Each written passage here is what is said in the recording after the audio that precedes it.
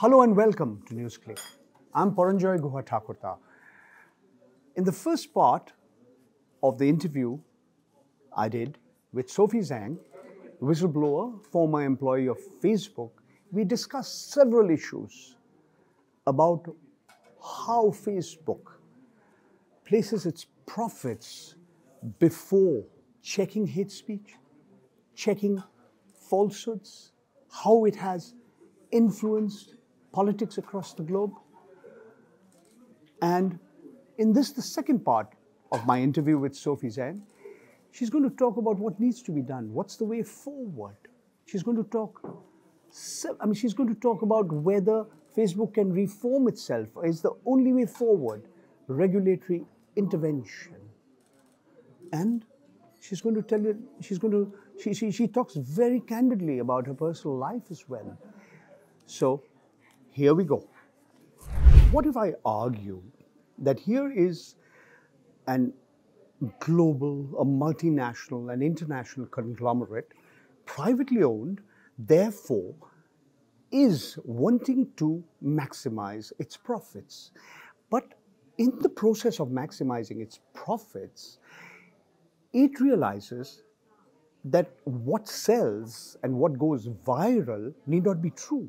It may be factually incorrect, it may be biased, it may be hateful, and therefore your profits are dependent or contingent on a business model which is predicated on going viral. And everybody knows fake news travels faster than real news that all, all the falsehoods all, all the uh, the uh, all the material that you and I with the advantage of hindsight said this is not good this is bad should not have been done so isn't that a very fundamental contradiction in the way this organization works yes i mean i mentioned previously the cases of union carbide and, and tobacco companies like Philip Morris. But in those cases, the government did step in. in. In Union Carbide, they were fined, I believe, something close to 500 million US dollars for their role in the Bhopal chemical disaster. And the Indian government taxes cigarettes and requires them to, to say on their packaging that they will give you cancer. And so, ideally, it is my personal belief that we have reached the point in which social media has, should be regulated. And that is what I have testified, for instance, to the, to the European Parliament, to the British Parliament, and the California State Senate. In countries like India, however, part of the damage done by Facebook is unfortunately its partiality to people, to the to ruling parties. And uh, I, I do want to note that if the current ruling party is defeated and say Congress regains power, my personal belief is that Facebook will immediately favor Congress the next day. And this creates a very difficult situation because the only people with the power to change the situation, which is government, do not have the incentive to do so because it is very hard for, to ask someone to give up an advantage that they possess. Let me here stop you. Facebook's former head of public policy, Ankhi Das, she overruled her own colleagues when they said here is a member of the Legislative Assembly of Telangana, Thakur Raja Singh, that he should be designated as a dangerous individual. It's a separate matter that after she's quit her position, much later, that the same person, Thakur Raja Singh, is arrested, suspended from his own party in August 2022 for insulting Prophet Muhammad. And the belief came that he, his speeches would create a, a problem, a, a, a, social problem in, in Hyderabad and, and the city, and, and, and therefore the action was taken. But it's really, if, for instance, the government of India or Facebook had designated him as a dangerous individual earlier, maybe this entire uh, situation could have been averted. Certainly. In the, in the case of Facebook, I mean, Ankhi Das' ties to the BJP have been reported on, for instance, by the Wall Street Journal.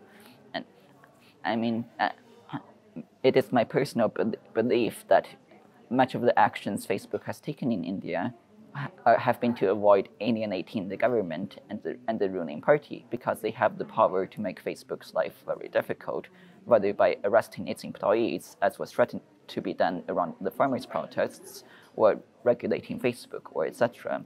I'm going to use an analogy.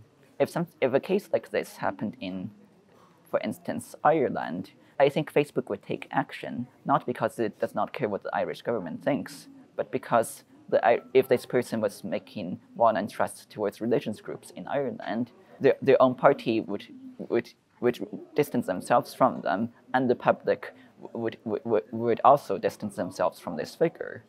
And that, that is not necessarily the case, unfortunately, in India. In this case, I think Facebook, is, uh, Facebook was responding to Indian public pressures within the country. I mean, ideally, it, it would have taken a stand, but to the extent Facebook is concerned about India, it's about the, the power players in India and not alienating uh, those who have the ability to regulate Facebook rather than the common um, admi. There was another member of parliament belonging to the Bharatiya Janata Party, the BJP, the ruling BJP who you named, uh, Vinod Sonkar. Now, in his case, apparently nothing happened. It's, yeah, Yes. And, and, and, unlike in the case of uh, Raja Singh. Yeah. So for the benefit of your audience, I will briefly relate this. So I was working on fake, fake, the use of fake accounts to, to, spread, to spread information worldwide. This, I, I, I, began, I looked into cases in India around late 2019 and early 2020. And they, these are what Indians think of as, for instance, IT cells. And so in India, I eventually I found eventually five different networks, uh, uh, fake accounts being run to promote political messaging and politicians. Two of them were supporting the BJP, two were supporting the Congress, and one was supporting the AAP. So these were quite across party lines. When I found them, Facebook, it took some, pers some persuading, but in several weeks, Facebook agreed these look bad, let us take them down. And so we, we were going to take down all of these networks of fake accounts. And we took down four out of the five. But with the, face, with the fifth one, we stopped because at the last minute, we realized that the fake accounts that were supporting MP Vinod Sonkar and saying nice things about him and liking his posts, they were ran out of the personal, account, uh, personal account of MP Vinod Sonkar. And this was deeply unusual. That means his own personal account was being misused or was being used to spread falsehoods? To, so some clarity. First, this is not the spread of falsehoods. It's the use of fake. Using a fake account. It's using fake accounts. It's not not spreading falsehood, but for instance, having 50 or 60 accounts. It was a small number in this case. It would not have mattered except for the MP and Facebook's reaction. But 50, 60 fake accounts, each having a picture and a name like an ordinary Indian, but all being ran by a same person and this person was also using Mr. Sonkar's personal account. Uh, it might have been a staff member, maybe, maybe a family member. subsequently claimed. I, I don't know if he claimed anything. I don't think, he, but I don't know if he's claimed anything. You might have seen more than I did. I think he's rejected. No, even Raja Singh said, said exactly the same thing that you know somebody else is misusing I mean, I'm told that it's common for Indian politicians to have staff members do it when they're older. But if, uh, if it was a staff member, it was someone who was authorized with access. And it was and, and, and the first thing, it, the first thing we, because it was it was so blatant and surprising. The first thing we looked for was just make make absolutely sure that, for instance, his account was not hacked. It was not hacked. Usually, in these sorts of cases, you want to be careful. It is a difficult investigation. This would be imagine if the Indian police were investigating in a case of murder and they find that someone had signed his name with the blood of the victim in his own fingerprints.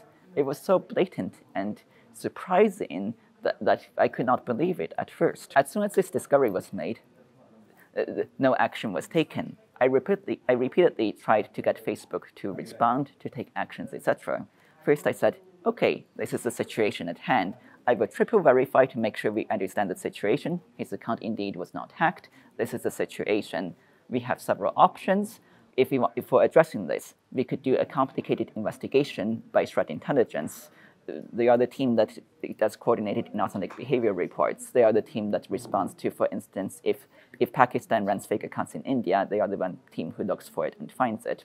And so that would take a lot of time, and then we could take it this down and have an official announcement that he was behind these.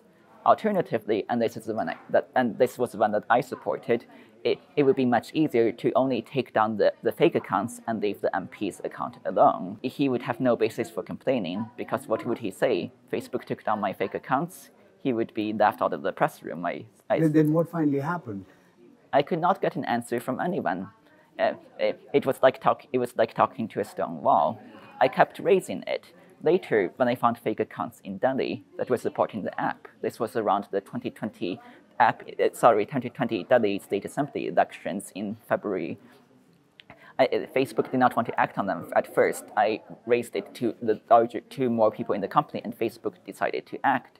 And, and I told them, well, we are taking down these AAP, these pro-AAP fake accounts in Delhi. Can we also act on the ones supporting the BJP? Otherwise, people will accuse us of being partial. I could not get a response from anyone. Okay, let me ask you to briefly recount what happened. India's parliament, uh, its standing committee on information technology, at that time it was headed by Shashi Tharoor, member of parliament, asked you to depose in person before the committee because that is the norm, that's the convention these committees follow. Now, the Speaker of the Lok Sabha, India's lower house of parliament, Mr. Om Birla, initially didn't say anything. Then, in June of 2022, he went on record and says that we don't uh, uh, ask a foreign national to come unless it's a very serious matter. However, a few years earlier, in February 2019, Anurag Thakur, who is the present Information and Broadcasting Minister, he had headed a committee where uh, they had Jack Dorsey of uh, uh, Twitter deposed, and there have been other instances in the past, also Bofors. But your dossier, which was a thick dossier that you circulated among the members of parliament, uh, I presume it reached all those people. Uh, What, what, are, what are your reactions to how the Speaker of uh, the Lok Sabha reacted? I was very saddened by his lack of willingness to receive this, because this is not a BJP issue, or a Congress issue, or an AAP issue. It is an Indian issue. Like, I want to be clear that, that it was reported that the Lok Sabha Committee on IT voted unanimously to invite me, which means that people across party lines worked together to support my, to support my invitation. I have been interviewed by everyone from Republic TV to NDTV. And um, I don't think that this should be a political issue. When first the committee voted, I, I was told by many re- reporters they considered the speaker's approval an afterthought. Certainly he would give it. They to- told me they were excited to see me in Delhi. And because the speaker is and the speaker is required to respond and give a yes or no answer, but there is no time limit on that response. And and so what the speaker has done appears to be something very new because he has officially neither denied or approved He it. has used his discretionary power. yes, to ignore it.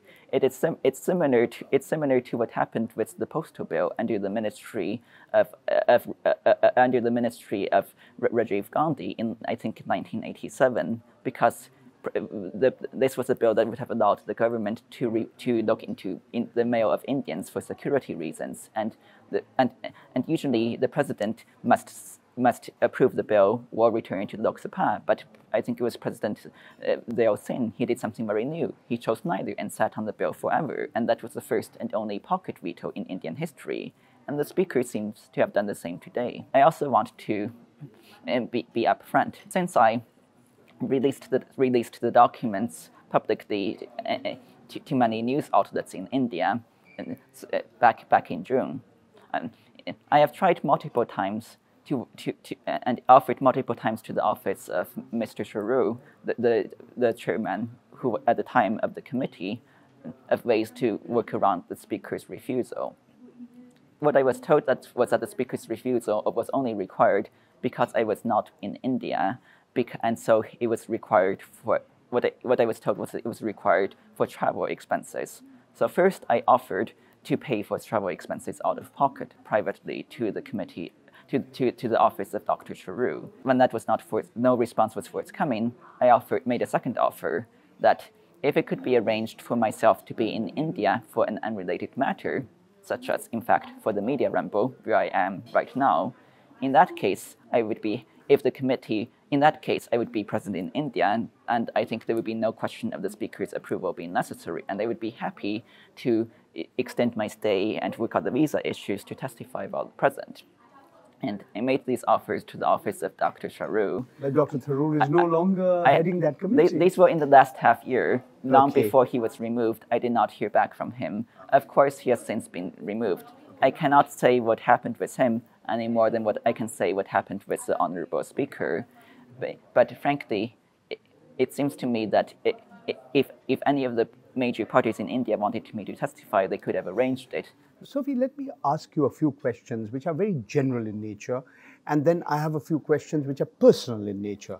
The general questions would be it's clear that the 99% of the resources of Facebook are used to fight spam, but they're not looking into political views and, and manipulation of election outcomes. That's, that's not quite how I would characterize it. Okay. Part of it, it was that my team was focused on spam, uh, on inauthentic activity in large scales uh, uh, for, for mostly non-political uses.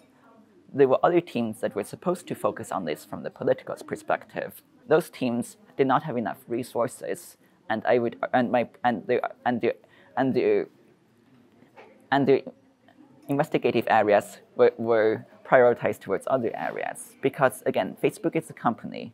To the extent it cares about democracy in india it's because mark zuckerberg is human and needs to sleep at night which is a limited resource.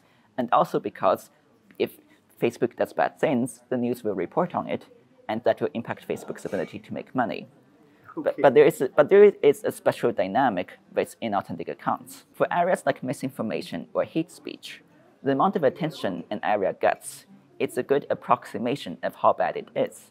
If someone tomorrow in Bangalore says Muslims are evil and no one pays attention, this may be hate speech, but it is not very bad. It has very few consequences. If major politicians pit people to words together and, and that creates a lot of strife and communal violence, that would be very bad and people would notice. But with inauthentic activity, the goal of fake accounts is to pretend to be real, to not be seen. And the better you are at pretending to be real, the fewer people will see you.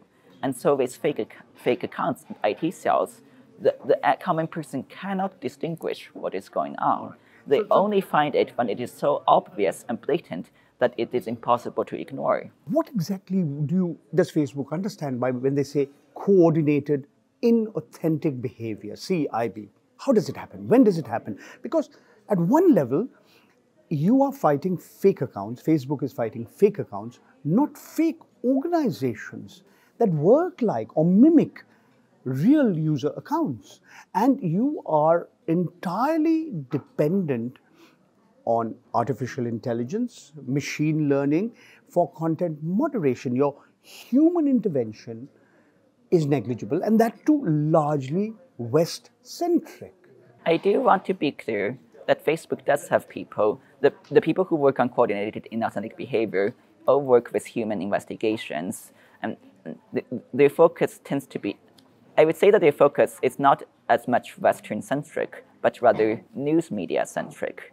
They are focused on what gets press. Most of their investigations come in response to, for instance, requests from governments, from NGOs, from reporters. What I was doing was very different because instead I had gone out on my own and found it.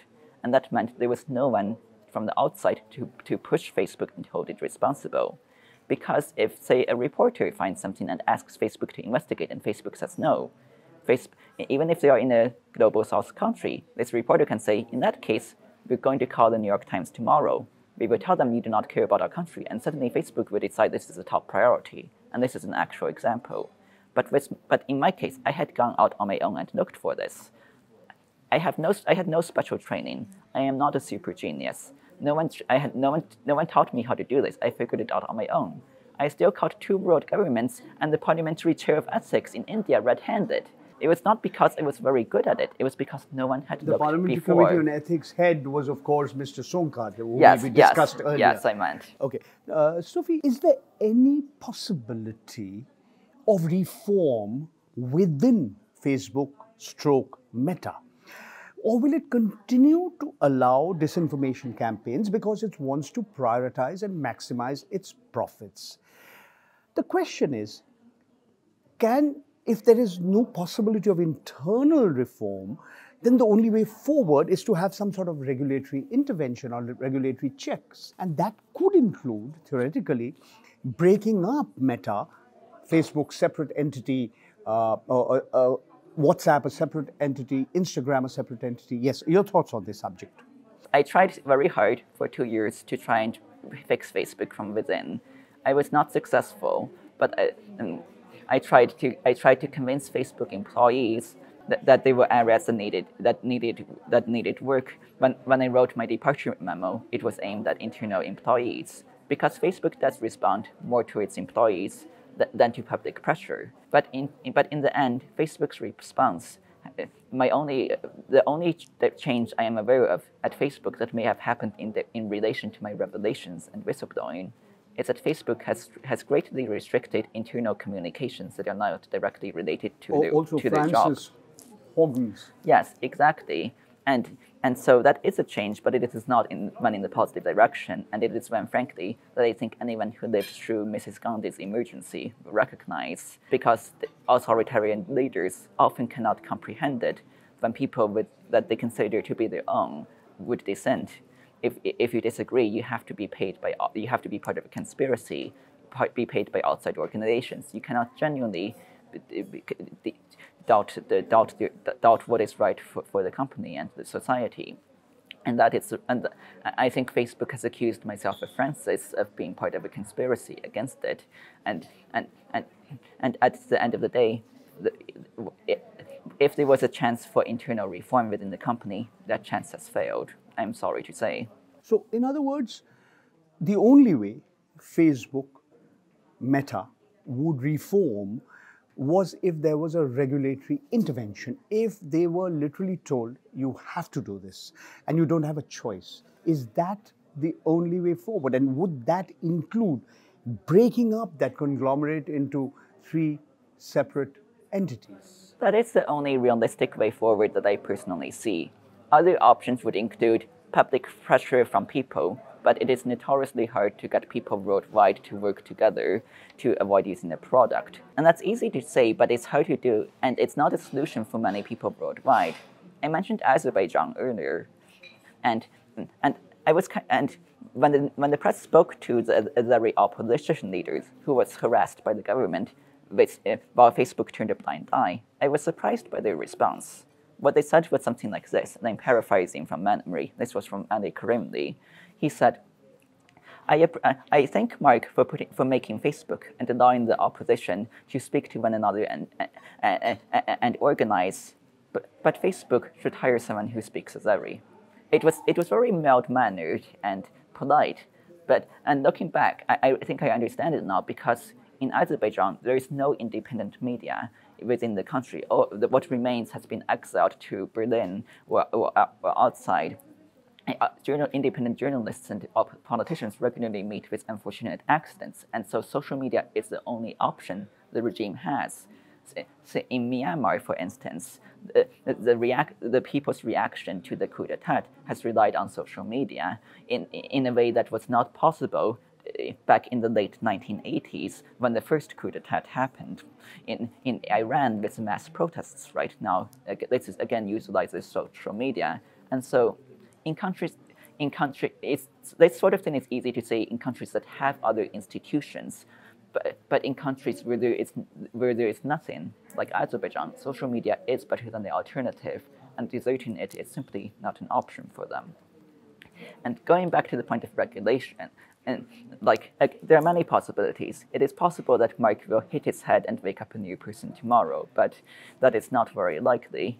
It, it, I think regulation is the most realistic way forward, but it is also especially difficult in India because it seems the Indian government seems unlikely to regulate Facebook. Yeah, yeah, that's I mean, this was my next question.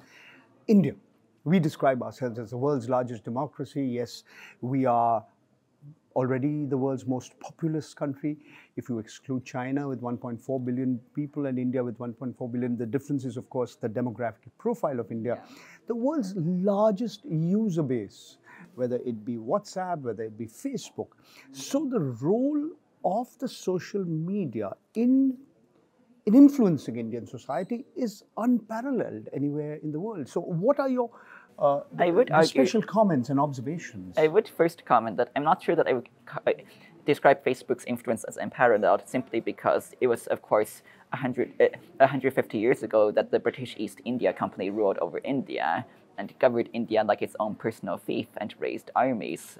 And compared to that, Facebook has a great deal of soft power, but I'm not sure its its power compares. With regards to the recourses India has going forward, um, it, this is a very difficult situation. You could try you could try to elect people who have the integrity to regulate Facebook when they are in office and not simply turn a blind eye because they benefit from the platform. If India becomes more educated and aware, public pressure uh, public pressure could ha- could have an effect. The people rising up and demanding change it- must have seemed unthi- unthinkable for Mahatma Gandhi when he first made, decided to take a stand against the greatest empire in the in the history of the world. But when the Indian as the people come together, I don't think anyone can stop them. They are simply very difficult to get to come together as a people.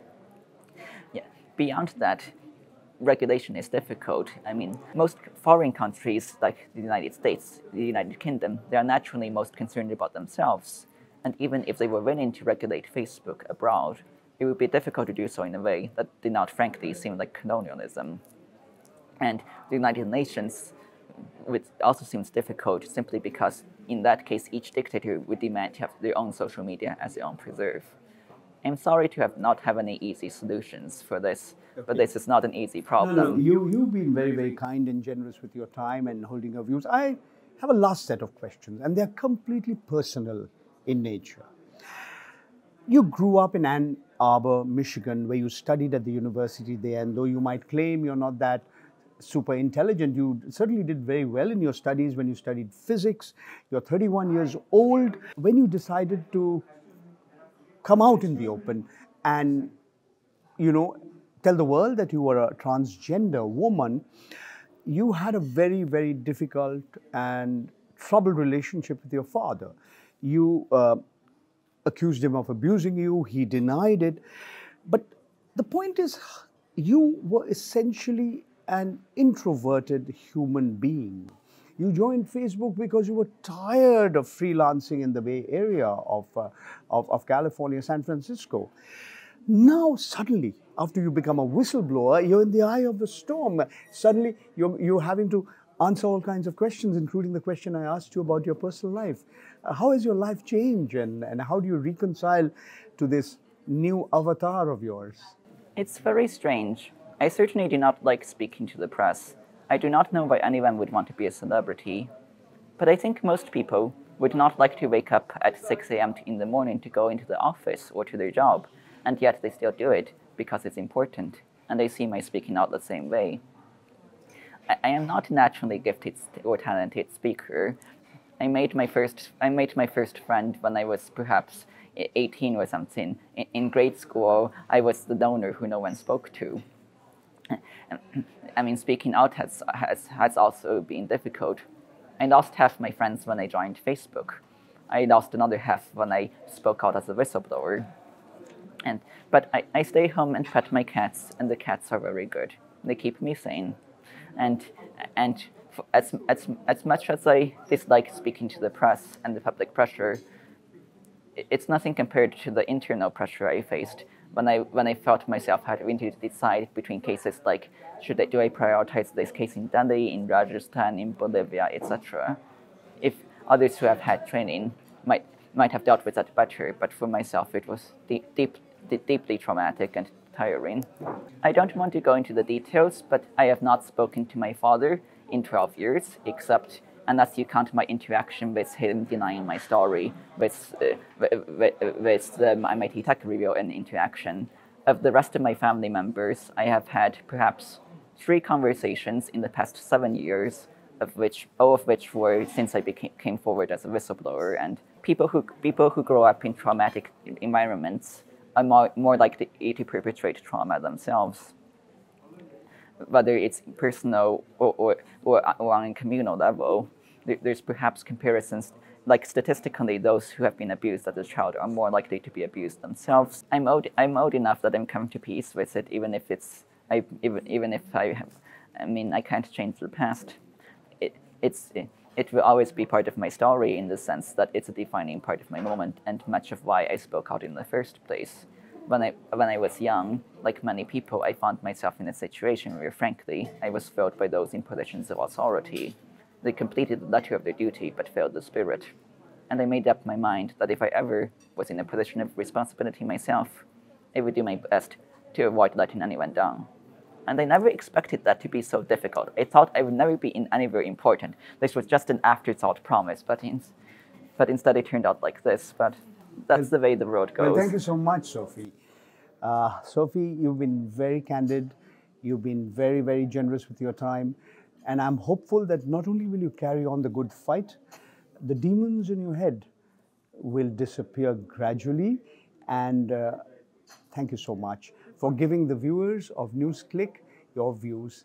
And I wish you all the best. Thank you very much. You've just heard and watched Sophie Zhang, formerly a data scientist and a whistleblower.